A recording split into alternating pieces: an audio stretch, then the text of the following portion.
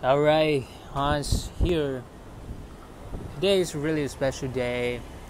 I just came back to China for a whole year now. Is everything is differently. Everything is different now.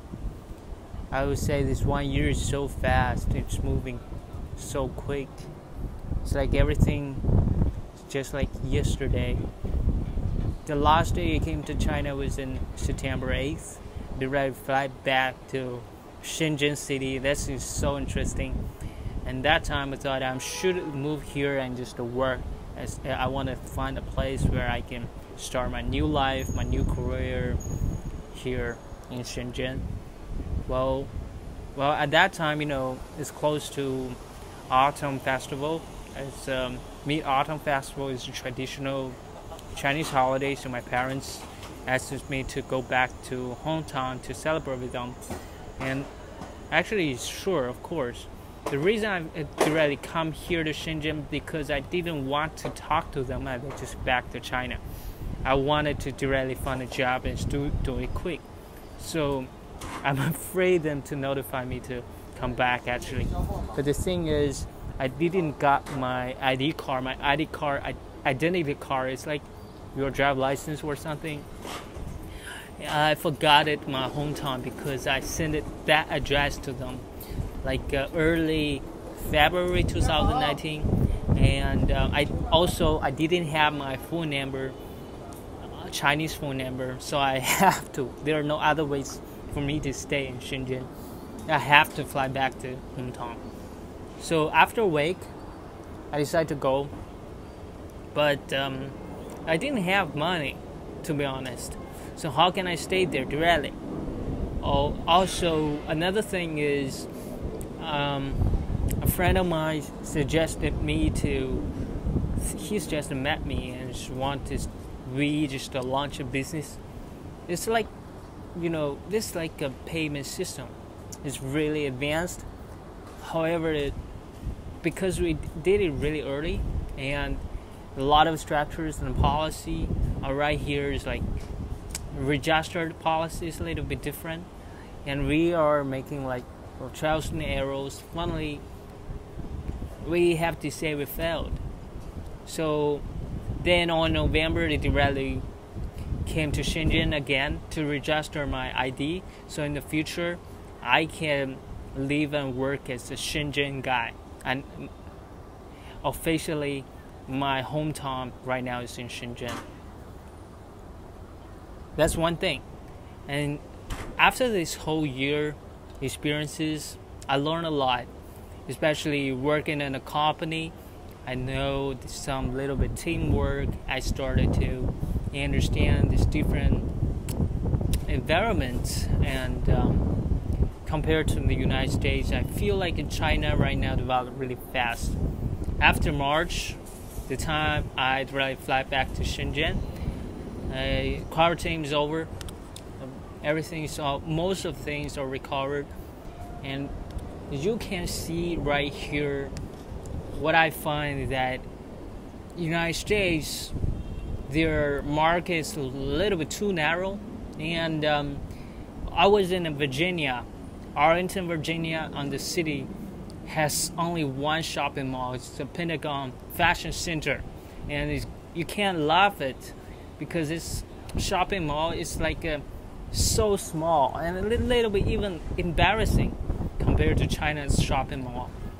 And another thing is, in that places, a lot of business model is not really mature. If it's not really convenient, if you don't have a car, if you want a Coke, there's no Meituan or like, or like uh, you know, uh, but right now they, they had a DoorDash or whatever you know. They, you can just um, like Didi food Uber food you can eat outside eat out or ask someone to send it to your home. And um, all and not not only that especially compared to China the metro system is is like way better than United States and those are the convenient thing about this country is living here uh, you don't need to have like um, taking your wallet. You can pay almost everything. Metro system you can go to like um, pay your food go shopping. You don't need to take your wallet. Everything is are able to use your mobile phone to pay.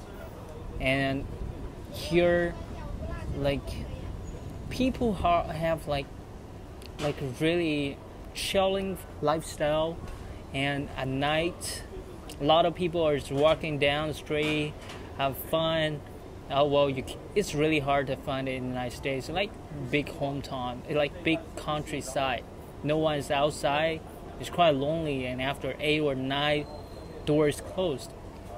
So it's more lively it's more alive living in china and this is my motherland and i have to say i love it.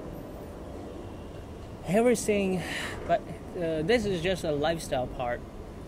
But you know for for the personality i think almost the same. Everyone every country you know we all have like similar human nature. You know there anywhere you can find ambitious guy. Anywhere you can find a little bit lazy person.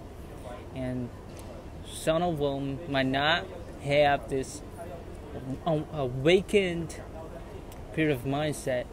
Not a lot of people love to learn or just create something new. I want to make this short video not too long and just I just want to say something and um, don't need to edit a lot so to really to really show you this voice.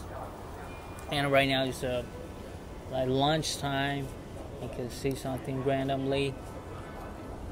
This is something what I found. Uh, honestly I've been to a lot of business venture capital because I always find some great business opportunities there that the world has right now China didn't have. And especially like um, some part of like the in, internet software and people did need it I went to some venture capitals or some investors they don't understand it because they think oh this is probably just a scam or what they whatever they think is the market is is immature you, how you prove that um, I think some of the investors are arrogant, croaky, and they just think they are better than you, and actually they didn't have. It's just a fake investors. But anyway, so here, currently I thought a lot about that, and I found one business idea. This is truly exciting business idea, and it's easy I won't say it's easy, but uh, I just find this is follow the trends, and I'm gonna start this business probably in a month or two. I will register a new company, and probably I'm going to build that by myself. Well, it's still under the secret. I don't want to share a lot about that. Probably in two months or three months later, I will show you guys later on and um, you know if you truly want to be successful i want you guys to know that no matter where you are you can always be successful. It's not about the whole environment.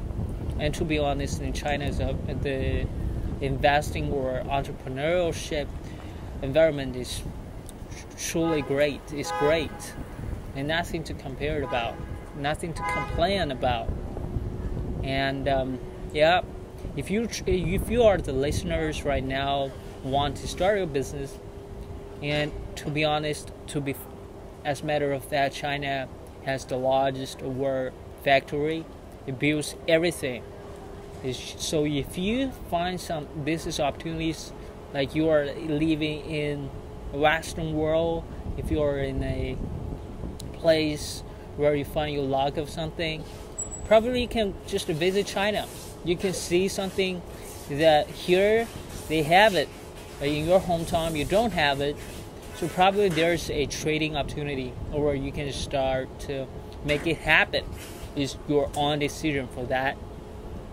And um, truly, no matter where you want to become, you want to be an entrepreneur or if you want to even like truly do something you like, being a poet, poet, poet or painter, writer, or traveler, YouTuber, whatever you like, follow your heart, do everything you like, just consistently doing it, and the world won't just reward it for your only hard work for one day, but you constantly, constantly, resistantly do it, and one day the world is going to fund you, and you are going to shine. I hope you guys like this really short self talk video or audio. I hope you guys have a wonderful day. Peace.